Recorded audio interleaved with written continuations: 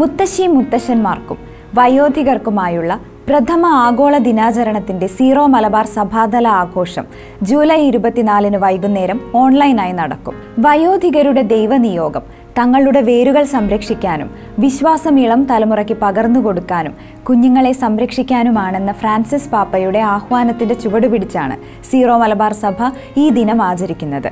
Zero Malabar സഭയുടെ കുടുംബത്തിനും അൽമായർക്കും ജീവനും വേണ്ടിയുള്ള സിനഡൽ കമ്മീഷന്റെ നേതൃത്വത്തിൽ സംഘടിപ്പിച്ചിരിക്കുന്ന ആചരണത്തിൽ major archbishop cardinal Mar George Alencherry synodal commission chairman Mar Joseph Kallarangatt Mar Jose Pulickal commission secretary father Antony Moolayil തുടങ്ങിയവർ പങ്കെടുക്കും. ഫാദർ ഫിലിപ്പ് വട്ടയത്തിൽ കോർഡിനേറ്ററായിട്ടുള്ള സൂം കോൺഫറൻസിൽ ഗ്ലോബൽ കത്തോലിക്ക കോൺഗ്രസ് അൽമായ forum family apostolate Mathruvedi pro life കുടുംബ കൂട്ടായ്മ എന്നീ സംഘടനകളുടെ സഭാതല ഭാരവാഹികൾ നേതൃത്വം വഹിക്കും.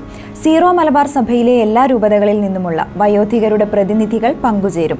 ആഗോള ദിനാചരണത്തിന്റെ ഭാഗമായി സഭയിലെ എല്ലാ രൂപതകളിലും ജൂലൈ ഇരുപത്തിയഞ്ചിന് ഞായറാഴ്ച പ്രത്യേക പരിപാടികളും സംഘടിപ്പിച്ചിട്ടുണ്ട്.